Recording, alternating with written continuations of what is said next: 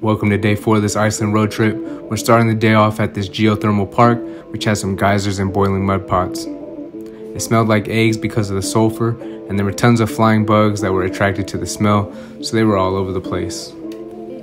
This place was really cool though. It's always cool to see our planet doing unique yet natural things. It's honestly crazy the amount of natural events that are going on without us even thinking about it. After that was a short drive to this underground spring. It was in a cave and the water was so blue. It was so gorgeous as you could tell. And you can go further through the cave, but this was definitely the best view for sure.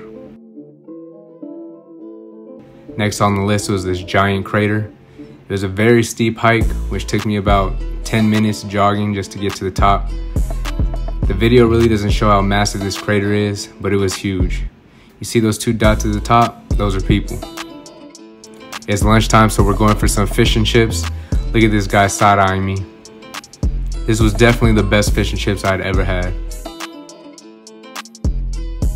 After lunch, we went to a natural hot spring known as Mývatn Natural Baths, just to relax for a little bit. The water was so blue and warm, the weather was perfect, and the views were pretty dope as well. I soaked in the spring for a little bit even took a little nap for a couple hours before heading to the next location, which is Godafoss Waterfall. The waterfall was beautiful, but the harsh lighting made it not my favorite, but I ain't complaining. Made it to our Airbnb where we relaxed a little bit before heading to the store to get some food.